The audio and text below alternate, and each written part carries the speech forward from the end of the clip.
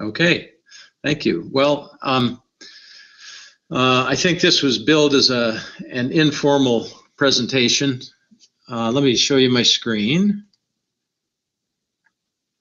Okay, can everyone see that?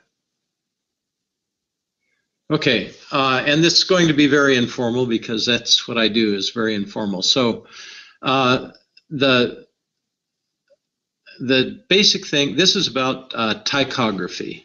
And ptychography is a lensless microscopy technique. Uh, so this is a lensless microscopy technique. Um, and I'll just go straight to the basic issue. If you illu illuminate an object, I assume everybody can see my, my cursor here. If you illuminate an object with a laser beam, you get this huge diffraction pattern downstream.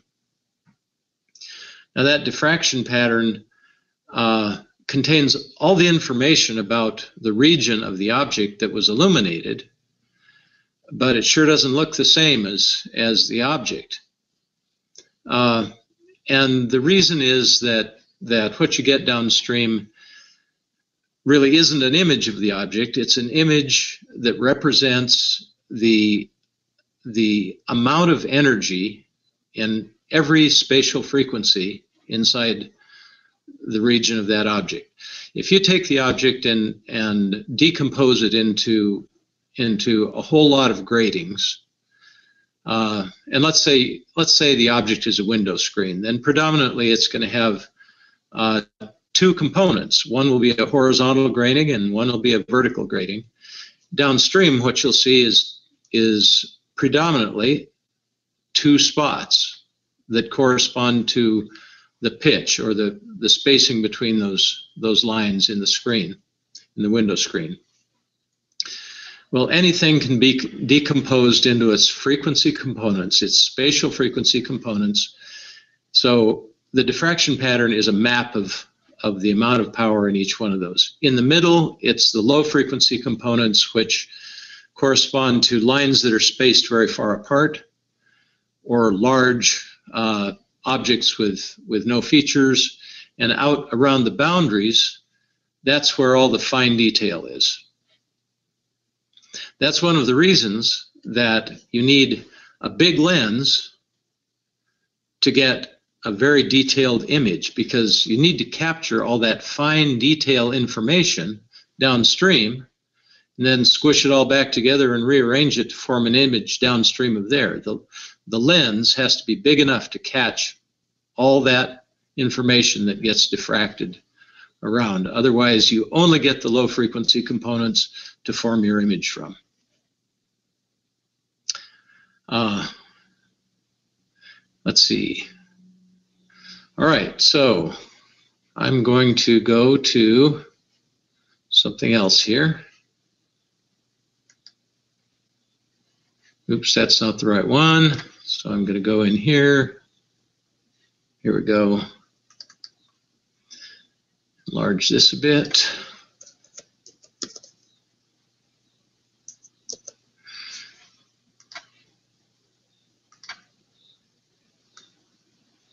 Okay. So this will be a little repetitive. I apologize, but uh, Ty is a lensless method of microscopy. You, you get an image without using any lenses at all, at least downstream from the object. So normally what you'll do is you'll scan an object with a laser beam, in overlapping spots. At each spot location, the intensity distribution in the far field diffraction pattern is recorded. In other words, going back here to this image, you simply put uh, the sensor from a camera here. You don't you don't need to take a picture of this. You just put the camera sensor right there, capture all this stuff. The actual scale, this might be, you know, anything from a centimeter to a foot, what whatever distance you have to go to capture all the all the important information that's there.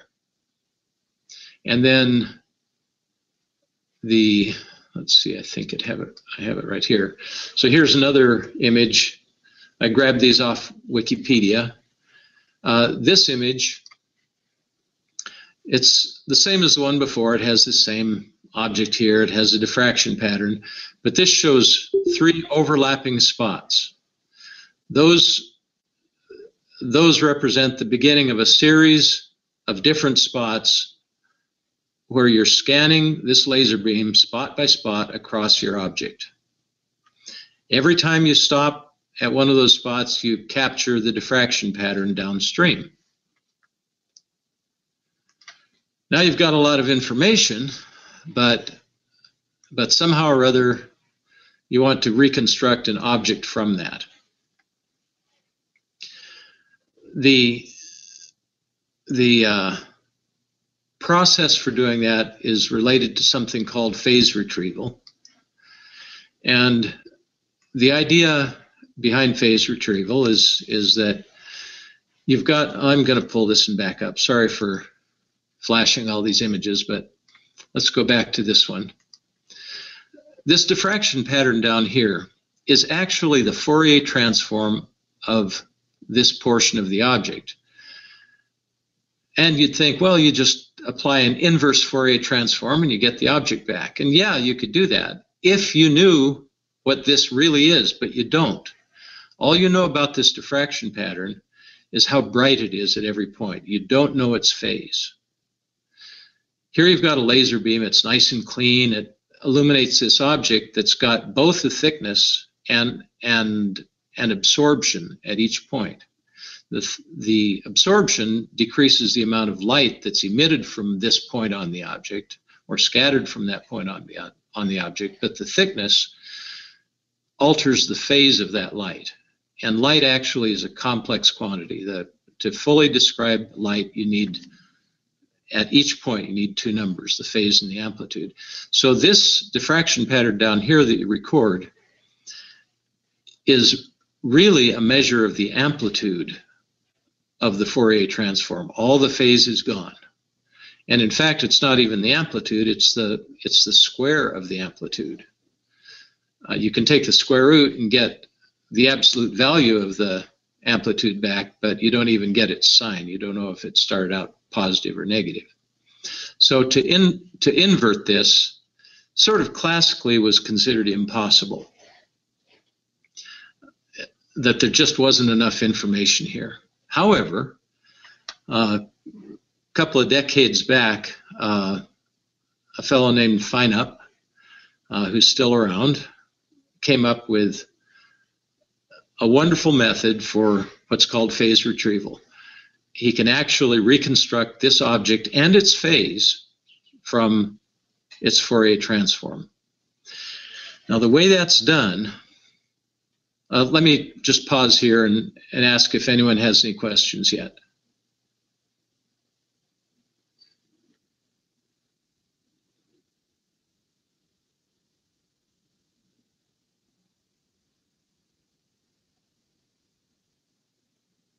Uh, actually, not necessarily. The way I described it here, it is two-dimensional, but but uh, there's a way to deal with three-dimensional objects too. You have to do more than just scan in an XY pattern across this. You also need to tilt the object or bring the laser beam in from different directions. Okay? All right, let's go on to the next thing, which should be in here.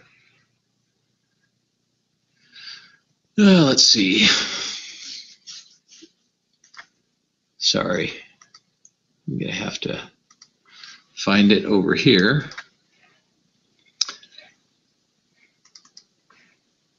All right. This is a very sparse description of, of how you get the object back from its Fourier transform. Over here, this red, red thing, we'll say that's the object. Now, we don't know anything about the object right now, but we can sort of take a guess. We have some idea how big it is. So we can, we can take a totally random uh, two-dimensional distribution of bright, dark, and phase. And then just trim off everything that we know is outside that object. We just get rid of that. So what we're doing here is there's this term that took me a while to figure out what it meant, but it's called the measure of the object. And it's just kind of the, the smallest window you can put around the object. Now, so here we've got a random guess trimmed down a little bit by this constraint, which is the size of the object. And we apply the Fourier transform to that. Now that'll give us the Fourier transform of our initial guess. It won't look at all like the diffraction pattern we know is right. So we can apply another constraint there. Now, we know what the amplitude of this Fourier transform is. So we can just plug that in as the amplitude part.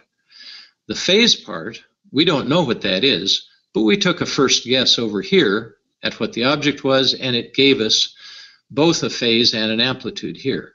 So we take the known amplitude and the kind of guess at the phase, which came through this forward transform, and now we have something we can send back here and see how well it matches the object. If it matches the object exactly, then we have the right answer, but it won't. So we come back here and we have sort of a, a guess with two constraints applied at what the object is. Except it's not going to fit inside this, this window anymore. So we get rid of everything outside the window, and now we've got a new guess. We just take what landed here, we trim off everything we know isn't really part of the object, and we send it down here again. You go round and round and round and round, and eventually you find something that meets both of these constraints. And then you cannot make any further progress with this. But typically, you end up with a really good solution to what the object really is. Now, any questions at this point?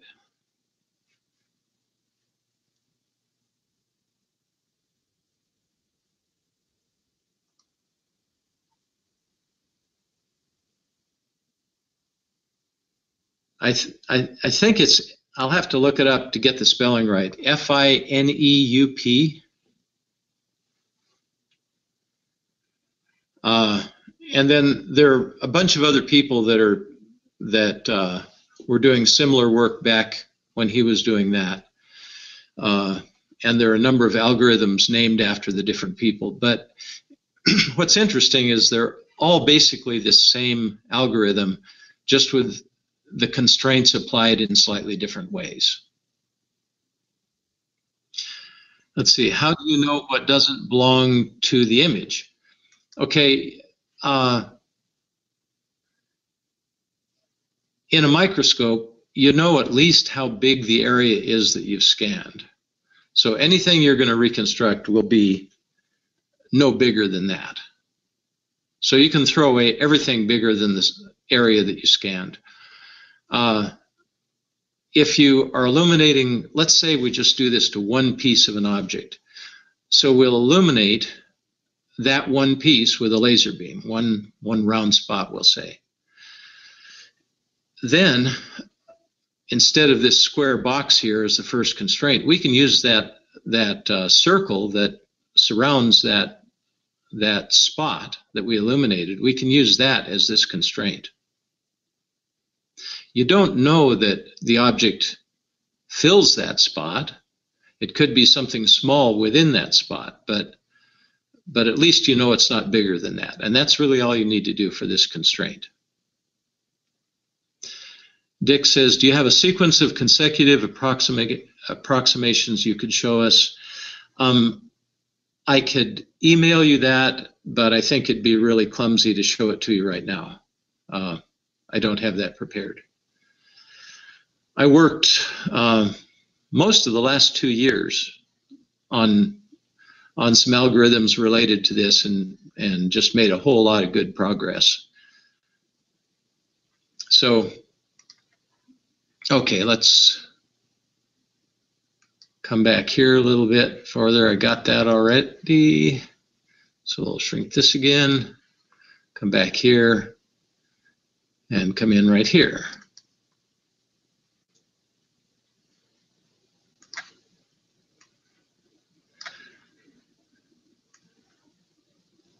Okay, I've kind of described this already.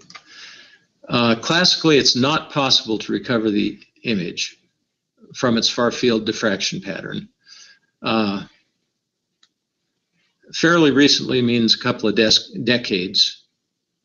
Uh, it turns out only a few very natural constraints are required to make the problem solvable. If you know the rough size and shape, that's the measure. And if you know that the object is not absorptive, for example, it can't amplify the light going through it, uh, that it doesn't have any negative uh, brightness, that sort of thing, then those are all useful constraints that you can put in one place or another in that in that looping algorithm. Okay, so the next thing will be this one.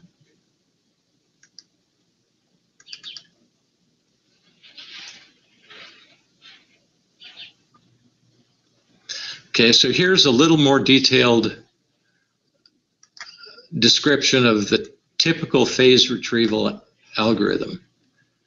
Um, you start here with, with a, an object guess. Now, if you have some idea really what the object looks like, you throw that in. But if you don't have any idea, it doesn't matter very much. You do the Fourier transform to it. That gives you a diffraction pattern based on your guess. You keep the amplitude. You keep the phase from your guess. Do an inverse Fourier transform and go round and round. Each time you do this, you compare the diffraction pattern you get from your guess to the known diffraction pattern. When it's close enough, you say, okay, my object guess must be right. It sounds a little fuzzy, but it's amazingly good. Uh,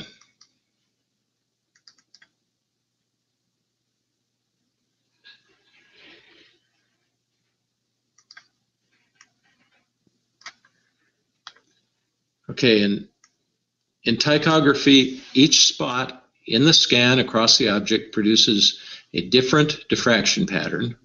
You, you need to overlap the spots. Uh, now you'd think you might be able to just add all those diffraction patterns uh, to get one diffraction pattern and then you you go through that looping algorithm to solve for the object. You cannot do that because the diffraction patterns are not complete. They're only the intensity of the Fourier transform. And you cannot really get the Fourier transform out of it directly. So, so there's a, a modification of that iterative algorithm, and it goes like this. You spread the calculation out among all the spots. First, you pick the first spot and its diffraction pattern, and you do a small number of iterations of that loop on that spot. That gives you a somewhat refined guess. You take the result of that, you feed that in, to that one little portion where it overlaps with the next spot. So the next spot has a has a better starting guess than purely random. You go through that with a few for a few times. Then you take what you got from that, you go on to the next spot. You go through all the spots, and now you've got uh, initial fairly refined guesses on all of the spots go back to the front, you go through it all again. You do that multiple times until you find that you've you've come up with a, a really close approximation to all of the diffraction patterns. At that point, at that point, you just add, you can just add the amplitudes of all those guesses. Uh, you can add the phase and amplitude of all those guesses. And and uh, that's that's the answer. That's what your object is. Okay, any questions now? Okay. Okay, I see it. Uh, the constraints seem to be binary masks. Can this be done by optical computing? Um, I don't know of anyone who's actually done it by optical computing, but I've thought about it a bunch and I think it probably can be. And you're right, the, the measure is a, is a binary mask. Um, the constraints over in the over in the diffraction pattern domain uh, are actually not so much binary masks. They're more uh, like the amplitude cannot exceed a certain amount um, and that sort of thing. They're somewhat different constraints. But uh, yeah, I think it can be done by optical computing. As it turns out, with modern computers, this can go pretty fast. So I don't think you need the speed that I would assume you could get from op optical computing.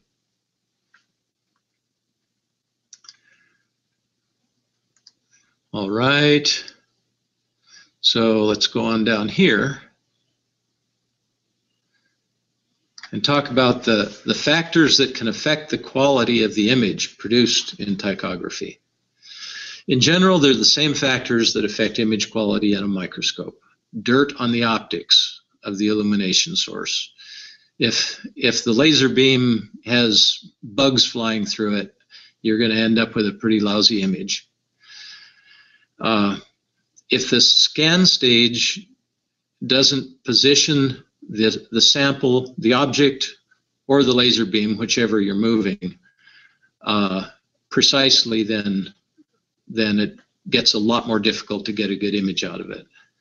Any vibration that blurs the diffraction pattern or or displaces it one way or another, that'll cause problems, uh, just like it will in a high power microscope.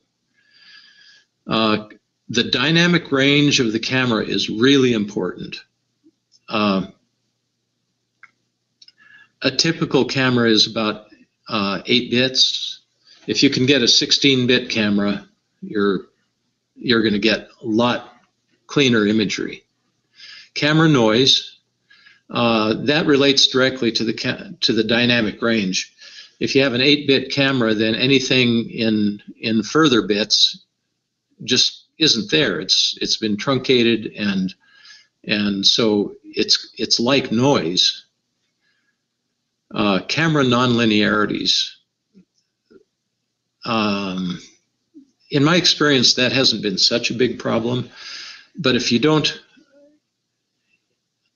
if if the output of the of the camera is nonlinear, so that you double your your intensity at some spot and you don't get double the output, then that'll cause problems. And then one other thing that I failed to include in this is the size of your your uh, sensor array of your image chip. If you don't catch all the diffraction pattern, then you're not getting all the information and you will not be able to get the maximum resolution. Uh, let me see if there are any questions yet on that. No, not yet. Okay. So, advantages of ptychography very high resolution. Uh, you can get the resolution of the best optical microscope you can get your hands on if everything lines up properly. If you if you have all the things you want to get a good quality image, you'll get resolution that is probably better than you can get with any other optical microscope.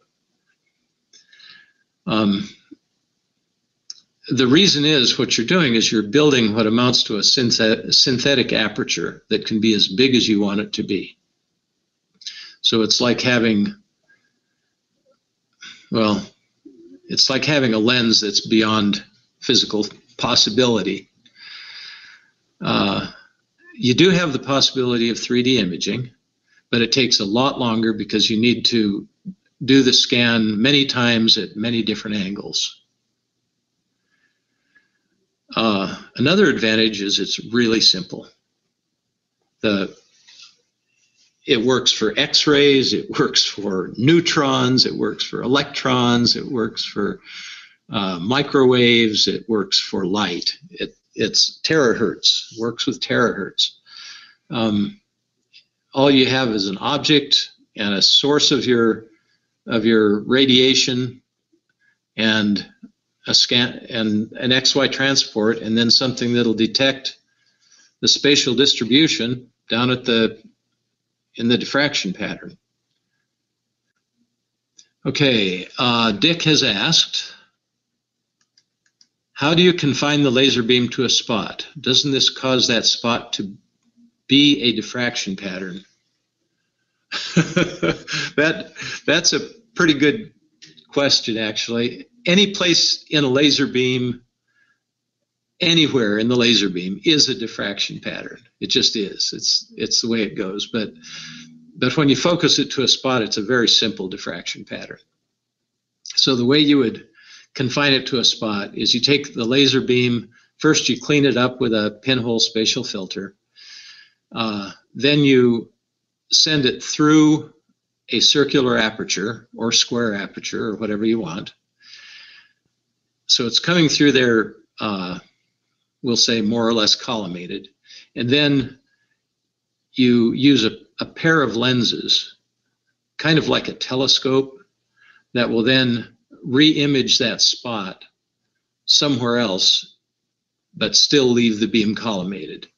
And that somewhere else would be on your object. And if you want me to sketch out the the uh, lenses for that, I can I can do that later and email it to you. Oops. Uh, okay, disadvantages of ptychography. It's relatively slow and it's computationally intensive. Now, I said earlier that that it's computationally intensive, but not very much so. Um, let's see, I'm going to show you this. This image right here is, is a before and after picture. Uh, this is the before.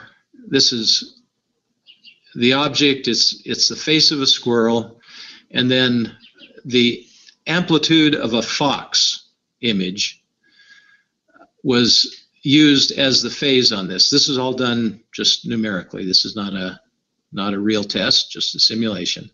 So the complex object was a the phase of a fox and the and the amplitude of a squirrel.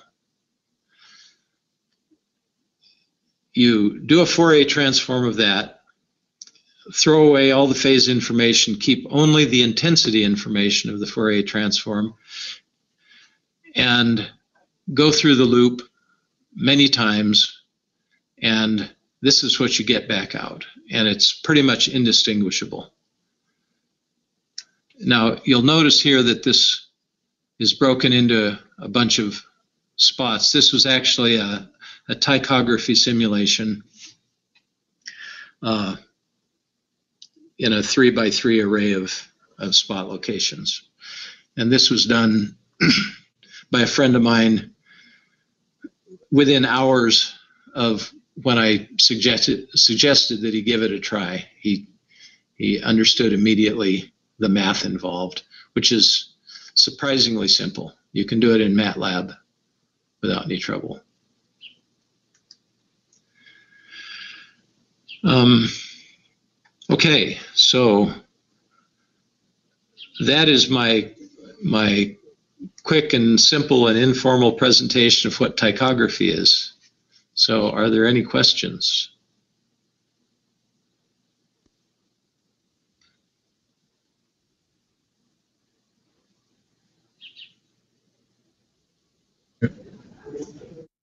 Okay, I, I missed those. Let me stretch that out and see what we got.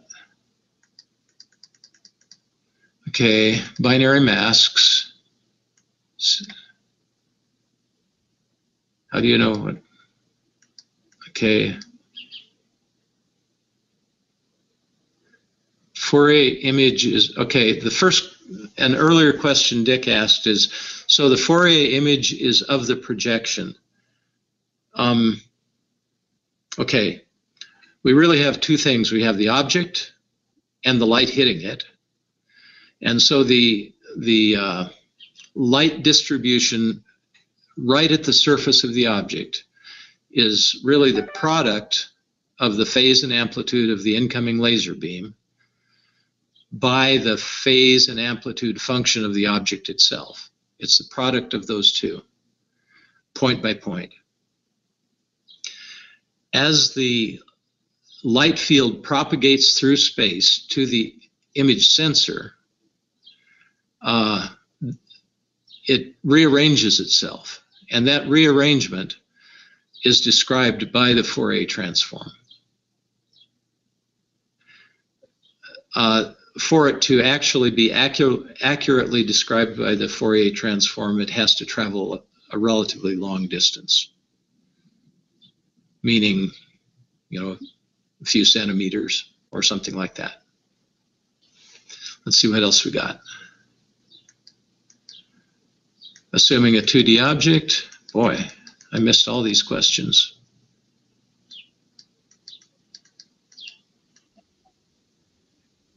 Okay.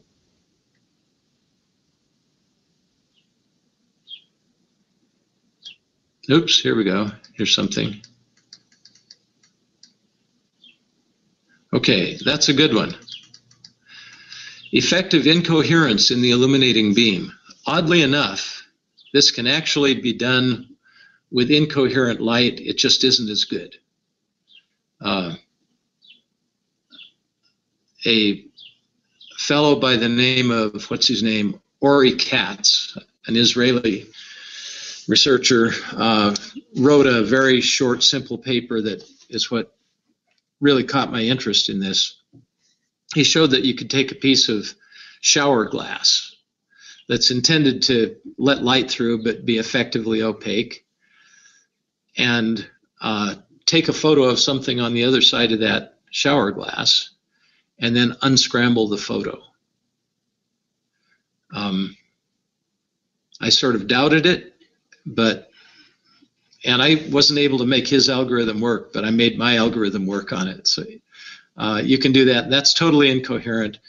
But if you want to get down to half wavelength resolution, you need coherence. Airy disk, um, you're talking about around the laser beam? At, in the illumination spot? Uh, Dick, your mic is on, so you can just talk. So you can just. Yes, uh, yes, I'm talking about the, the, the, the the illumination spot. Use a microscope objective if you're dealing with something small. to, uh, probably, yeah. illumination spot. Yeah, Okay, uh, Yeah.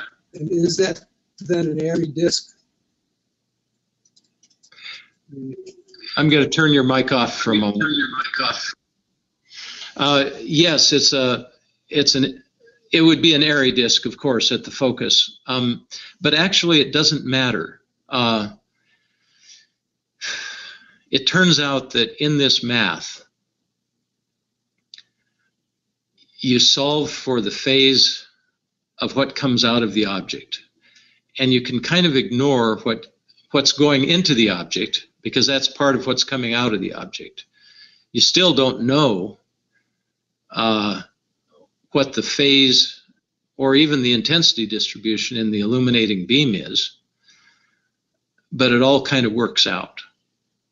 Uh, if you happen to know the exact size and shape and, and intensity distribution, et cetera, of the incoming laser beam, you can get to a good solution quicker. But, but you can still solve for it. I'm gonna, I'm gonna turn your mic back on. Okay, your mic is back on. Uh, How many uh, iterations to uh, convergence? Um, it Um, depend- It depends on the specific algorithm you're, it depends on the specific algorithm you're using. Uh, and it depends how you count your, your iterations, but uh, two or 3,000 iterations is not unusual. Uh, in the algorithm I ended up developing, uh, it's more like 40 or 50 in terms of total time, it depends how big and complicated your object is, but for something like that, the squirrel fox thing, it'd just be a few minutes. Okay, I will go on down here. I'm go- I'm gonna, Dick, I'm gonna leave your microphone off so we don't get that echo. Just get my attention if you want it back on. Okay, what's the relationship of the spot diameter to camera pixel width?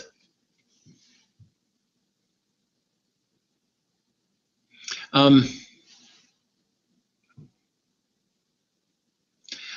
there's there is a relationship, but it's kind of distant because other things fold in.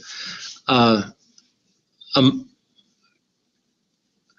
the smaller the spot diameter, the bigger your your speckle pattern is going to be in your in your diffraction pattern. And the bigger the speckle pattern is, uh, the fewer pixels you need to capture it. The the bigger the the speckles are in your diffraction pattern, then the fewer the pixels you need to capture it. Um, that's beyond that it, it gets more complicated but uh, the fact of the matter is the more pixels you have the the better it's going to be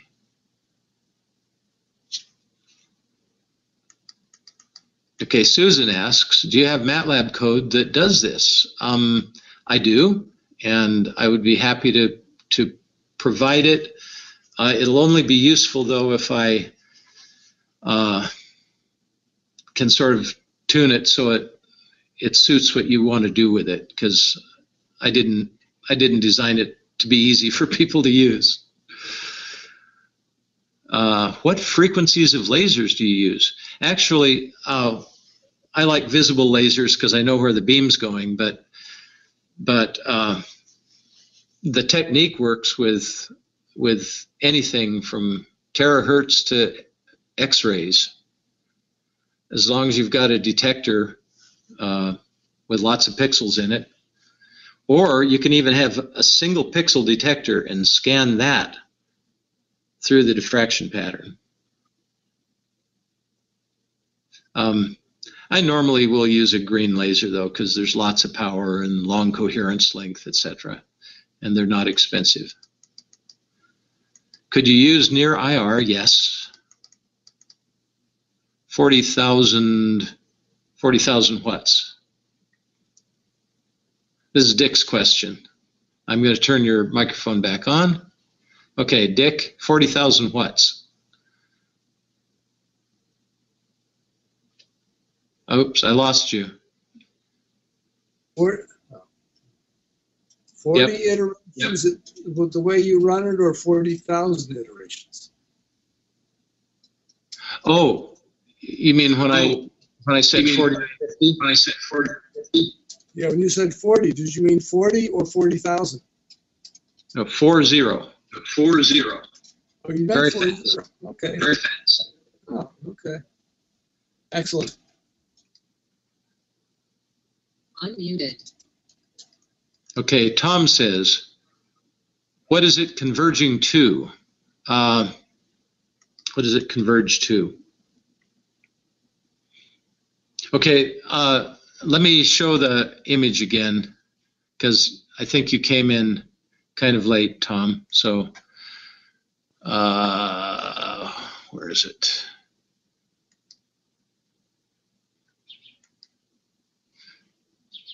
Shrink that. Okay, this is where we started.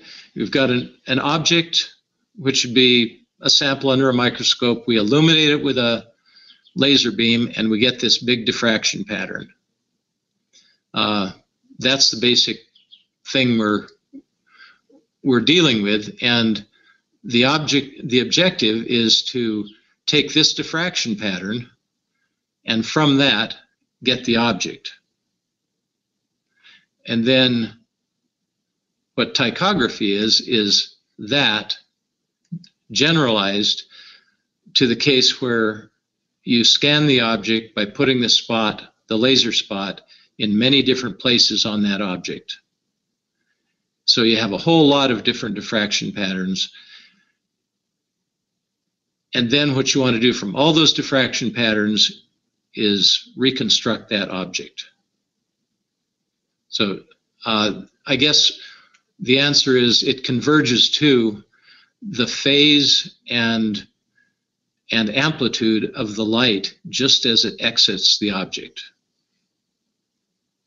Is that a is that a good answer, Tom? Yeah, I think, uh, I don't know if you can hear me, but, uh, yeah, do.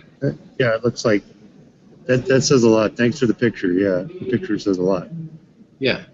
And and if everything is done right, you can end up with resolution down to close to a half wavelength.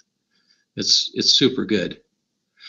And in principle, if you because you're illuminating it monochromatically, uh, it's it should be possible to measure the absorption spectrum at every point in the object down to that kind of resolution. And I haven't heard of anyone doing that, but it would be a really interesting thing for someone to do. Let's see if there are any other questions.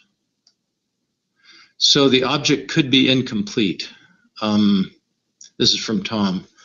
What do you mean by that, Tom? Well, I'm, the, actually, the picture I'm looking at here, it looks like there's a partial image and you want to actually, uh, reconstruct it as a full image. Is that, would that be safe to say, or is that what you're? No, No? the, the, Okay. I grabbed I grabbed this picture off the off uh, the internet because I didn't have much time to prepare for this. But we can presume that that this this thing here is a microscope slide with with something on it, and we know roughly where the something is, so we we scan across that. So we do need to cover the whole thing with the laser beam. Okay, so this is a way of getting just real good resolution without uh, super fancy equipment. You know, Yeah, without any downstream lenses. You don't need a microscope. All you need is a is um, the sensor array out of out of a camera.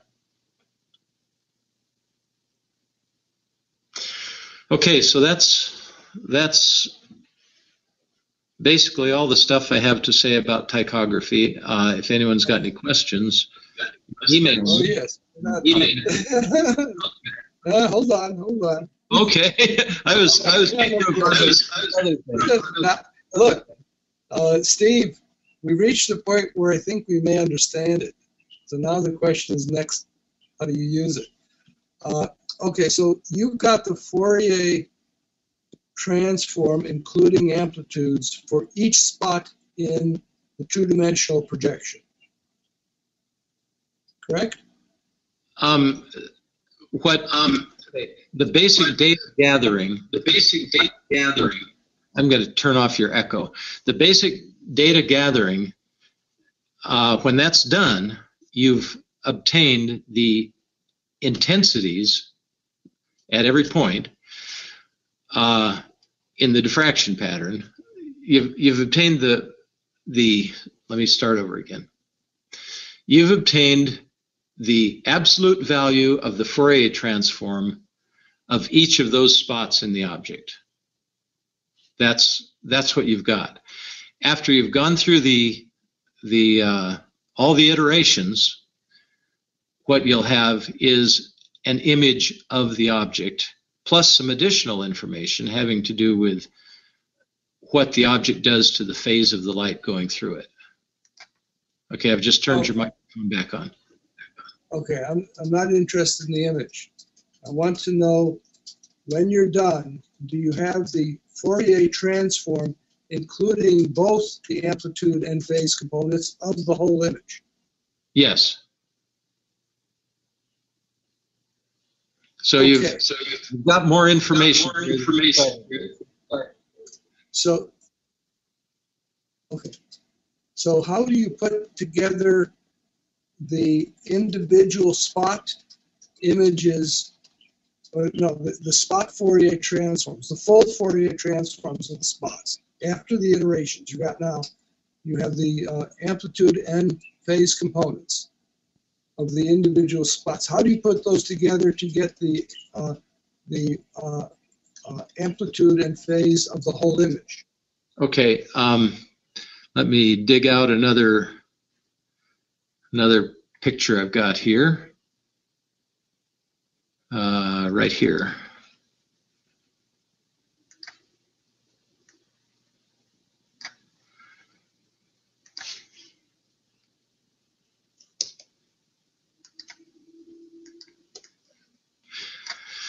Okay, here's, here's the object that we want to build an image of. And we can take, we scan it with our laser beam like so.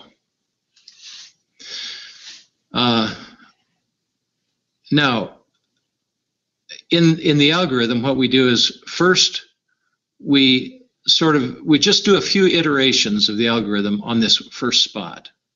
Then we do a few on this spot, but when we start this second spot, we take the results from that first spot in this overlapped area. Let me enlarge that a bit. Maybe that'll be more visible. Uh, we take the the uh, this overlapped area right here, and we include that in the initial guess for what this next spot is. Then we run this through a few iterations. What that does is it gives us a further refinement of what's in the overlapped area, and then it gives us a first guess at what's in this next overlapped area. So after we've gone through all this stuff, we've got uh, a somewhat refined, I mean, it might not even be recognizable, but a somewhat refined first guess at everything in here. Uh, we, we have a first version of the object because we're just updating. Every time we do one of these spots, we're updating the region of the overlap. So when we're all done running through all this stuff, uh, Uh, we have an X, Y map X, Y, of the phase and amplitude. phase, and amplitude. The phase and amplitude. Uh, That's what I'm having trouble understanding. Yes. Uh, The, at an individual spot, you get phase and amplitude information for that spot. Okay? Now, what I need is not this picture, but an array of of Fourier transforms, one for each spot. And then I need to see how those are combined to make one Fourier transform for the whole image.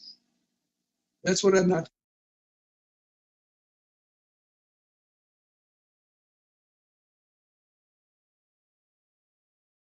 You are muted.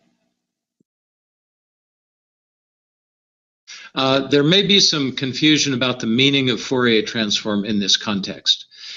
The diffraction pattern is the Fourier transform for a spot.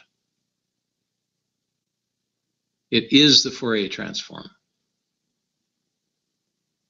Not as recorded by the camera because it only gets amplitudes. That's correct. But the, the diffraction pattern itself, the light field that is the diffraction pattern, that is the Fourier transform of that spot, that portion of, of the object.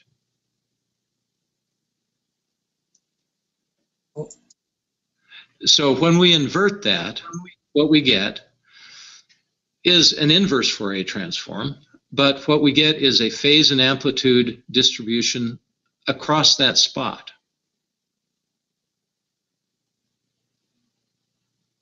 And all those spots are overlapping and, and what we've done is, we've each, each, uh, each subsequent spot includes a portion of the phase and amplitude uh, map of the previous spot.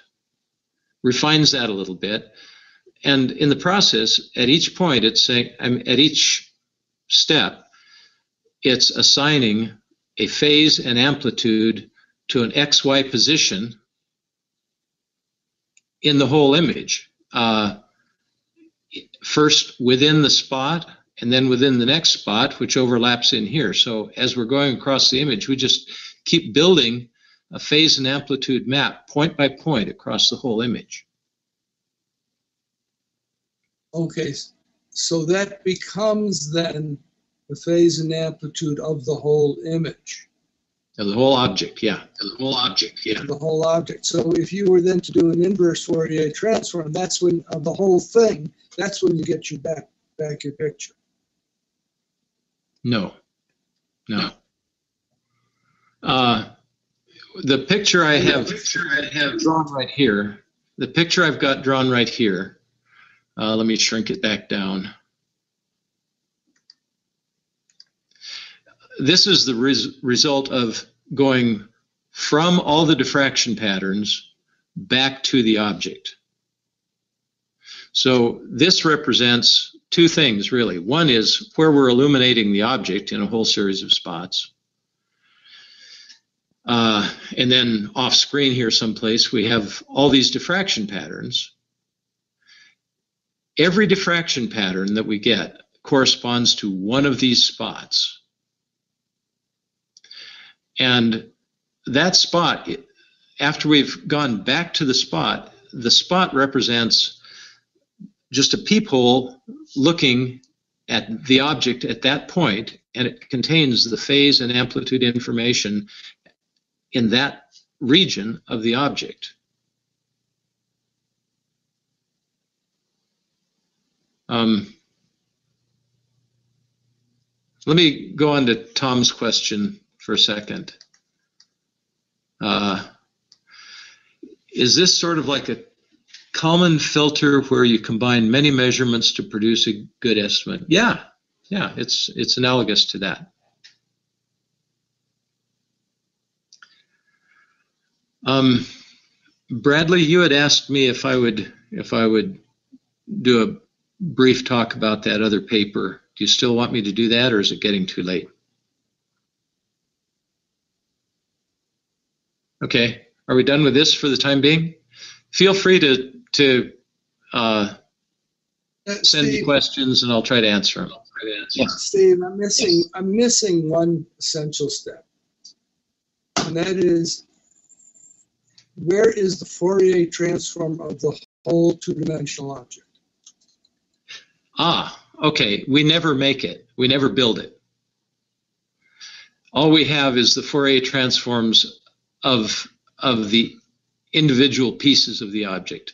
But if you wanted the Fourier transform of the whole object, if you wanted that, uh, we could construct it. We have enough information. And the way to do that, the easiest way to do that, would be to take the whole object that we've recreated and take its Fourier transform. And what that would give us then uh, is is the Fourier transform of the whole object. And if we looked at its intensity, it would show us what would happen if we illuminated the whole object with a laser beam. Okay, so here's, here's my point. I'm, I'm not asking this just to get it. I know. you're familiar with, you're familiar with projection theorem? Familiar with what? Familiar with what? What's called the projection theorem for Fourier space. Uh, yeah. Uh, yeah.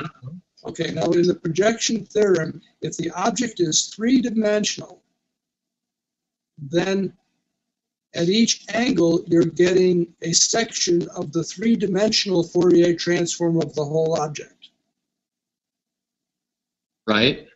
okay? Right.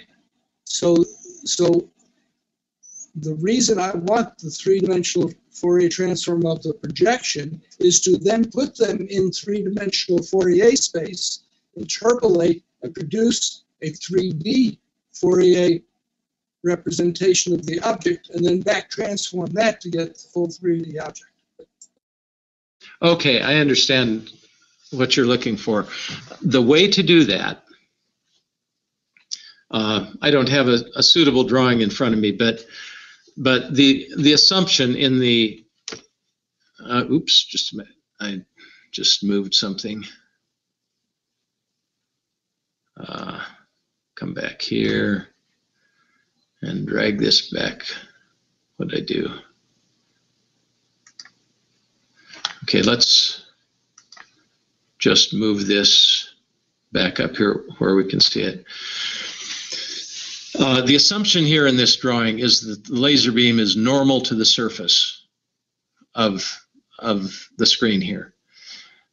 To get, to be able to use the projection theorem and thereby have the information you need to recreate a three-dimensional image of the entire object, you would need to do this many times where the laser beam is coming in, in from different angles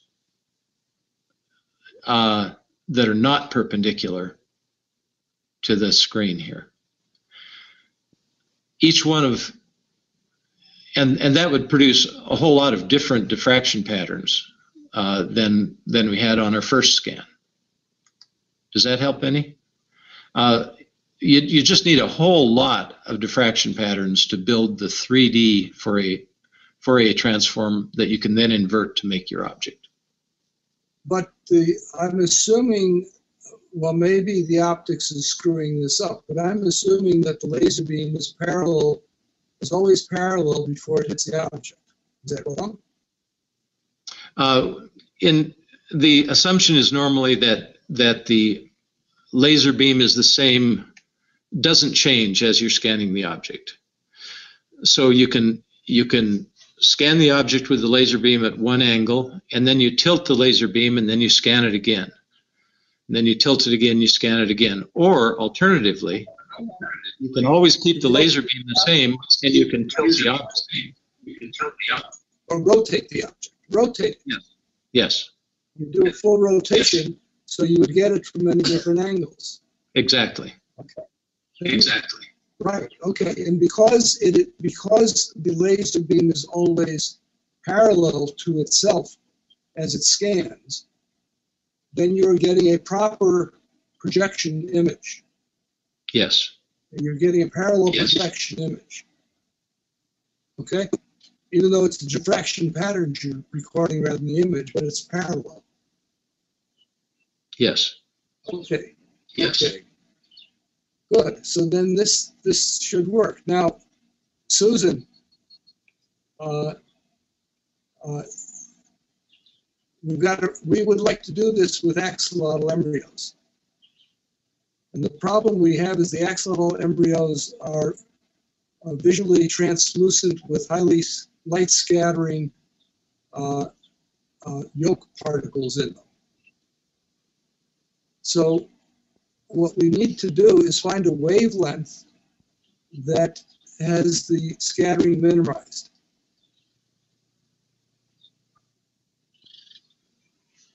Okay?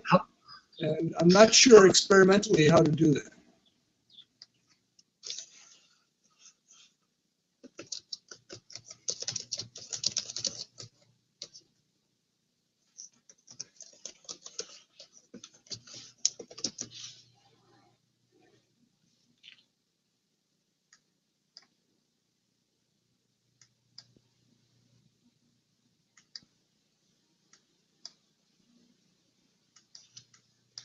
Two millimeters.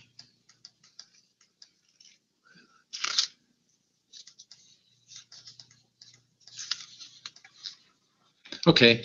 Uh, now, the the second paper that Bradley asked me to talk about may actually be usable for your axolotl embryos.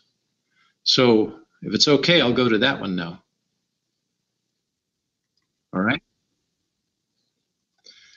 Okay.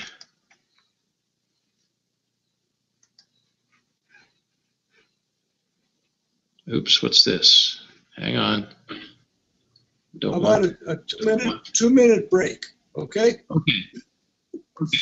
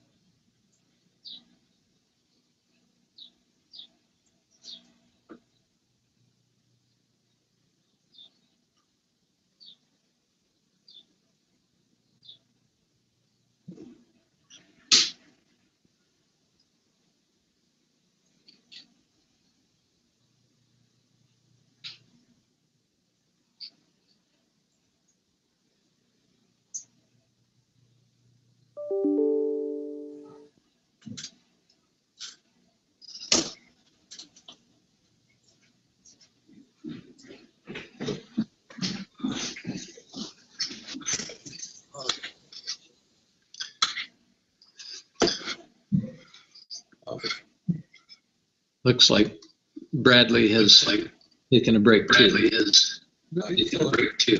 Okay. I, I read somewhere on the internet, I read Somewhere on the internet, Back off for a second. Uh, I read somewhere on the internet that that's only supposed to take 20 seconds, regardless of what kind of animal you are. That that two minute break. Okay, uh, so here's here's the next thing. Um, Dick, I've turned your microphone back on, but if you could mute it when you're not using it, I'd appreciate it. Okay, good. So, um, is everybody acquainted with the term photoacoustics? Let me, Dick says no, and, okay. Uh, here's the general idea. Um, if you shoot a laser beam or any kind of light into some tissue or into a a solution or into anything that the light will penetrate into, uh, it will heat wherever it hits. And sometimes the amount of heat is very small. But when something's heated, it expands. So if you imagine that you're focusing the light into one little point somewhere inside a piece of tissue, and you just send a pulse of light to that one point, that one point is going to emit a sound wave because it expands briefly when the light hits it. Uh, that's what photoacoustics is about. One way or another, you illuminate a sample, and then you've got microphones sitting on the sides to pick up any sound waves that are emitted. Now, there's all kinds of information you can get from that, uh, which I'll go into later. But for now, let me just show you some pictures here. Uh, I think this is the first one. Nope, that's not a picture. Hang on. Shrink that, shrink that. Uh, maybe it's this one. Yes, here we go. All right, enlarge this.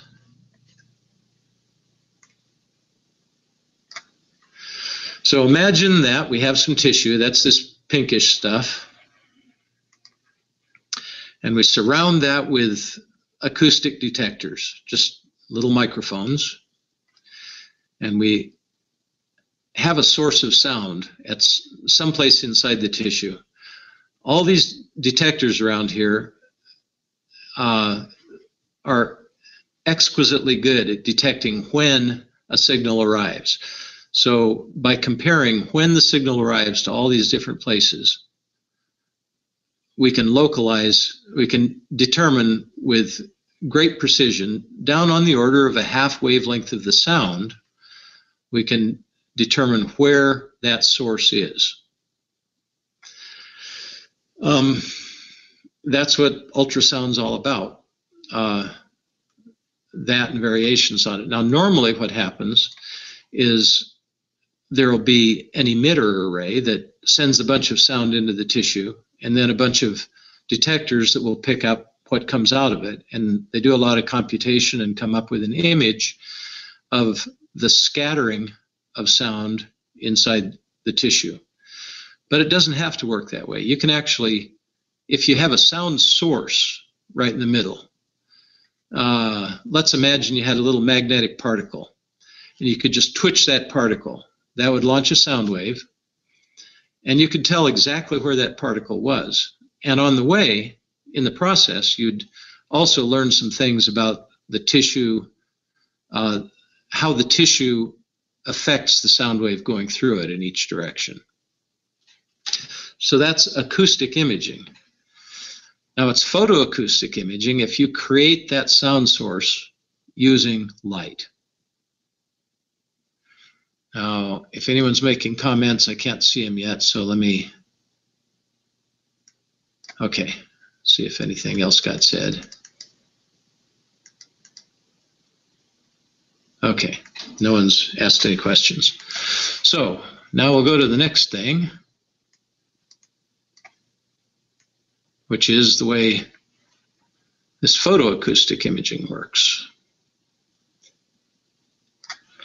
You have a laser pulse that illuminates the volume of your tissue diffusely. Uh, because like your, your uh, axolotl embryo, most tissues scatter light pretty crazily. They don't scatter sound quite so much, but they scatter light. So you, you illuminate the whole volume of the tissue with a pulse of light. Now, for all practical purposes, the light arrives everywhere in that volume at the same instant. As far as the sound is concerned, it's all one instant because the sound frequencies are much, much, much slower than the light frequencies. And much, the period of a sound wave, even an ultrasound wave, uh, is vastly longer than the duration of a typical laser pulse, which laser pulse might be on the order of a few nanoseconds for kind of a long pulse. But a typical ultrasound frequency is on, on the order of microseconds. So we're, we're talking about uh, the period of the sound wave being on the order of a thousand times longer than the, than the typical laser pulse. So we, so in essence, we've got every point in that tissue instantaneously illuminated by light. Some of the light gets absorbed. And by the way, it doesn't matter that the light is diffused. It gets in there. So everything's lit up. Everything is momentarily heated by a, quite a small amount by the light. So every point in that tissue emits a sound wave in proportion to how much light it absorbed. The microwave, the sorry, the microphones that are surrounding this pick up the sound wave, and each microphone hears it a little bit differently because it's traveled a different distance from every point in the tissue. And uh, I don't know the math for doing this, but it's going to be analogous to the math that we just described in the ptychography. You're dealing with Fourier transforms and and uh, basically trying to find the best model of what's inside that tissue to give you a prediction of what the acoustic detectors will see that matches up with, with what they actually did see. So uh, there's some really neat. Oh yeah, one more thing. The the resolution that can be obtained here is the is the ultrasound resolution. So it's not unusual for for uh, ultrasound waves to have something on the order of, of uh, a few microns of length, the, the wavelength, and that's the kind of resolution that you can get uh, using this ultrasound imaging. Uh, okay, so let me show you some videos that that these guys provided. I think this will work. I haven't tried this yet, but here we go. There may be some delays. Okay, here's here's uh, what they got of a whole mouse.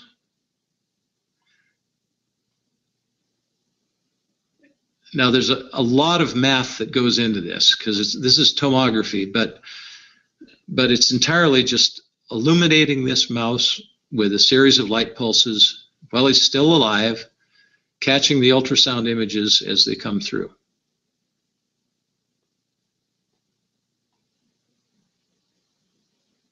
And our resolution there is down on the order of a fraction of a millimeter.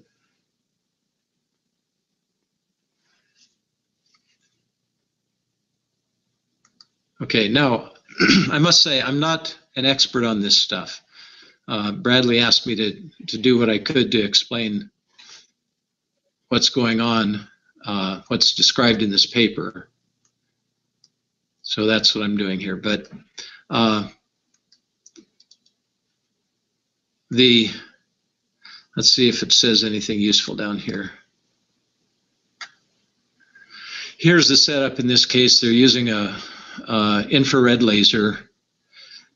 They're diffusing the light out. It's already going to get diffused by the mouse, but they're diffusing it some more before it gets to him. Uh, in this case over here, they're hitting it with two different, let's see, is that right? No, I'm sorry, I'm, I'm not sure what they're doing here, but, but uh, it's important to, to note that that uh, what you're looking at, what you see depends on the wavelength of light that you use, because different tissues will absorb, and different components of different tissues will absorb uh, different frequencies of light, different wavelengths of light more efficiently. So, so you're kind of doing absorption spectroscopy in 3D uh, of whatever you're looking at. That, again, like I said, for ptychography, just seems like it could be really, really useful. Now, this won't give you the same resolution that you can get using ptychography, but I think it's a whole lot faster. And uh, uh, more complicated, I suppose, but but it looks useful to me.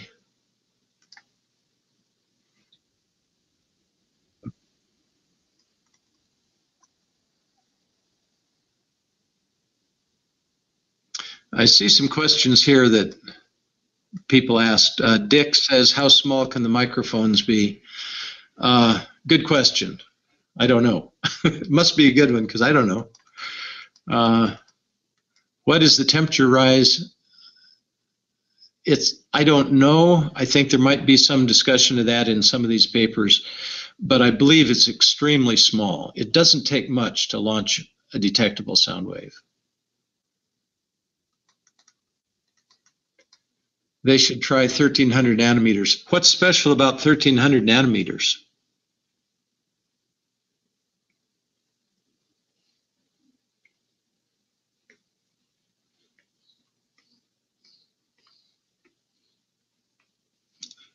Your microphone's not on.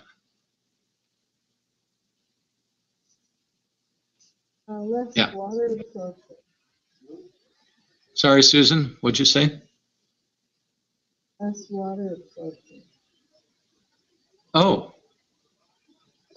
So water absorbs 1300 nanometers real efficiently?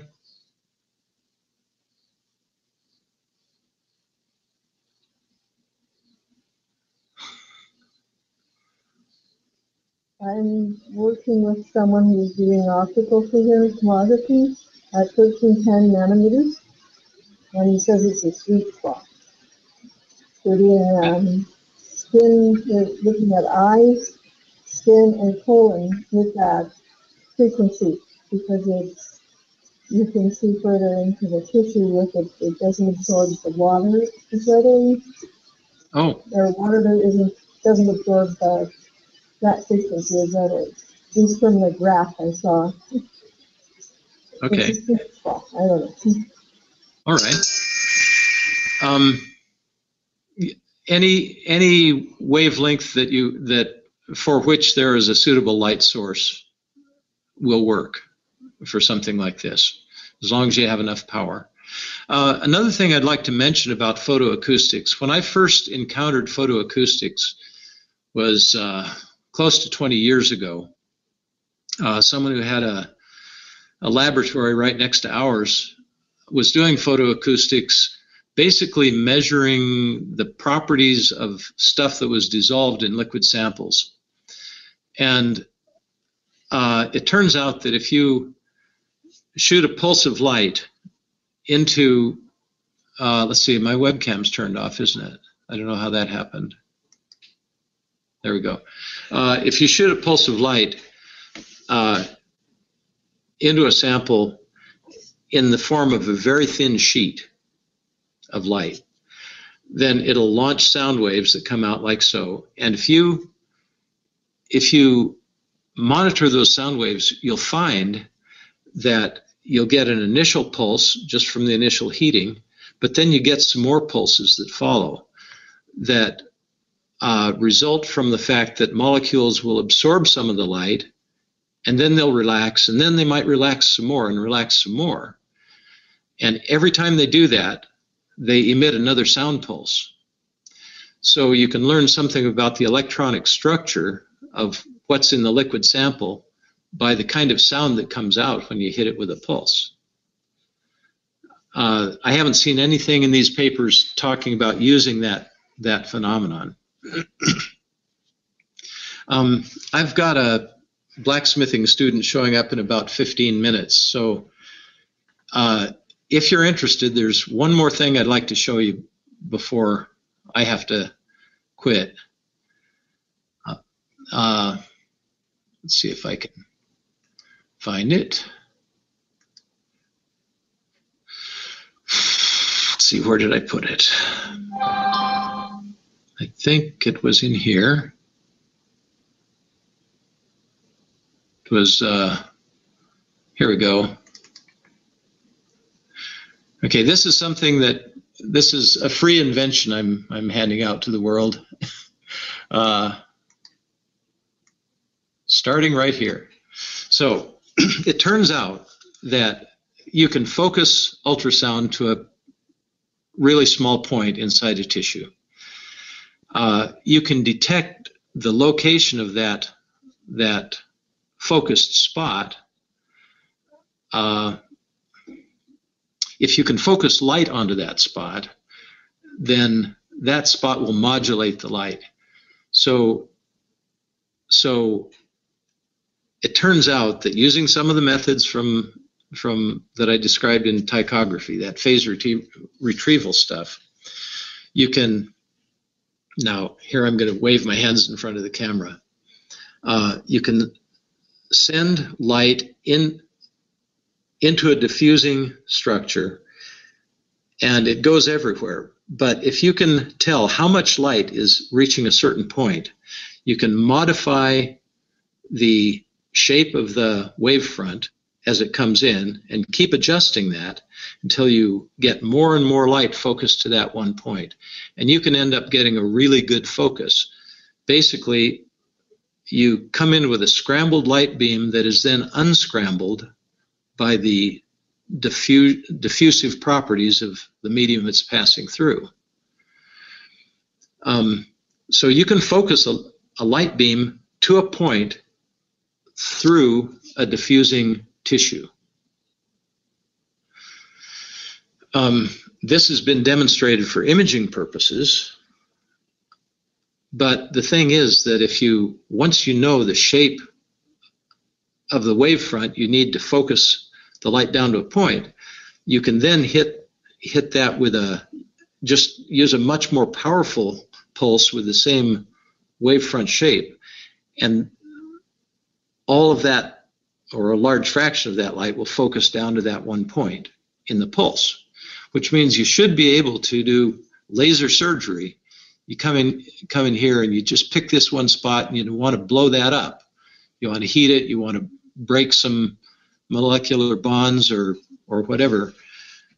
But all this stuff on the outside is diffusive. Doesn't matter as long as you've got uh, a suitable ultrasound system and a wavefront uh, modulator and the right algorithms, it ought to be possible to do laser surgery on the scale of a few microns inside diffusive tissue. Okay, that that was what I wanted to say. And yes, it's called laser ablation. Uh, but if you wanted to ablate one neuron inside a living mouse's brain, this would be the way to do it without having to stick any probes into the brain.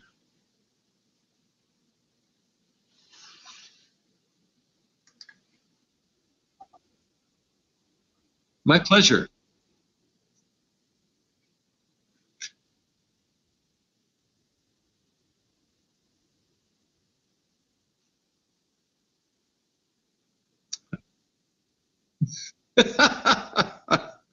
I'm I'm never going to do anything with this idea I just described. So anyone who wants to play with it, it's yours. So, all right. Uh, thank you. I enjoyed this.